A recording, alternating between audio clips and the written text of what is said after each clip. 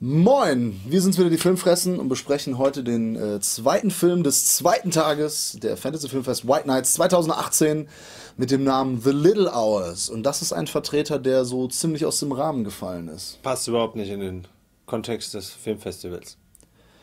Das ist in der Tat richtig. Ähm, das ist aber auch einer der Gründe, warum der mir zum Beispiel ganz gut gefallen hat. Mir auch. Es ist äh, im Prinzip es ist eine Komödie, eine sehr alberne, zotige Komödie, wie man sie so aus den 70er Jahren Zotenfilmen eigentlich äh, kennt. Ne? Es geht äh, viel um nackte Haut. Basiert wohl irgendwie auf so einer äh, italienischen Tragödie. Ich habe den Namen vergessen, können wir einblenden, ist auch egal. Es spielt hier, der Cast ist so, oder das Cast, ich weiß nicht, ne? würde man das Cast gesagt, ich sage der Cast, ist, äh, besteht aus so einem Best-of aus Community mit Alison Brie in der Hauptrolle. Wir haben Scrubs-Darsteller, unter anderem Dave Franco, der Bruder von James Franco. Ähm, wir haben viele Darsteller aus Parks and Recreation in den Hauptrollen. Und es geht im Prinzip um ein Kloster. Mhm. Da kommt dann ein, ähm, nämlich Dave Franco, ein, soll man sagen, ein windiger Stallbursche Ja. äh, zu denen, weil der musste flüchten. Der hat sich nämlich äh, mit der äh, Frau des Königs Genau. vergnügt. Ja. Und dann kommt er da ins Frevel. Kloster und versucht dann halt äh, Abstand von den Nonnen zu halten, aber die sind alle so notgeile Biester und wollen den alle verführen und für alle möglichen Sachen missbrauchen. ja. Und eigentlich ist das halt super albern. Ich habe aber ziemlich viel gelacht, um den irgendwie doof zu finden. Also ich finde ihn, ich hätte ihn wahrscheinlich zu jedem anderen Zeitpunkt als alberne, sexualisierte Zotenkomödie abgetan und irgendwie ge gesagt so, ja, ist ganz okay, aber in diesem, im Kontext der Fantasy Filmfest White Nights war das für mich mal eine willkommene Abwechslung. War eine Auflockerung der ansonsten sehr ernsthaften Herangehensweise und ernsthaften Vertreter ähm, in Horror, Science Fiction und Fantasy. Ja, es waren jetzt nicht die ausgeklügelsten Gags. Ne? Wie gesagt, es ging viel äh, um, um, um, um Sex, es war sehr albern. Ja.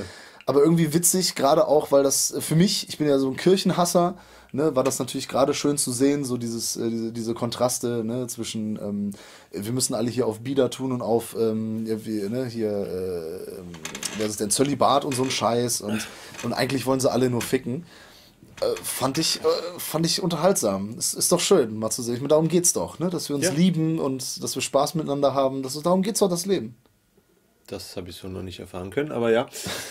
Es ist ein humoristischer, moderner Non-Sploitation-Film. Eine sehr alberne, aber sehr lustige Sexkomödie.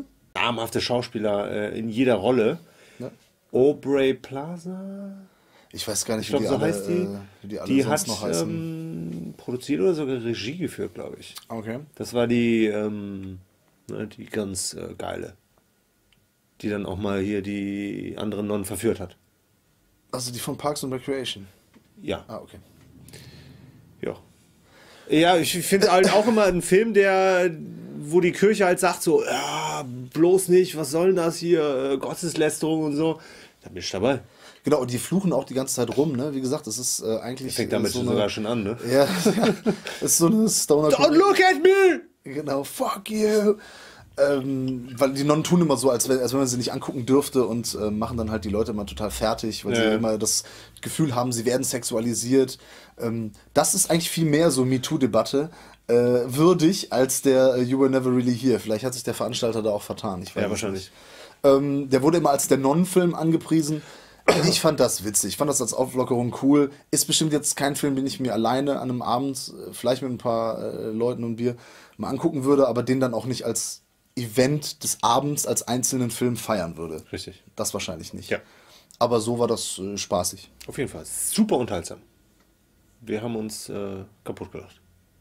Teilweise. Ja. Mhm. The Little Hours. Weiter geht's im nächsten Video.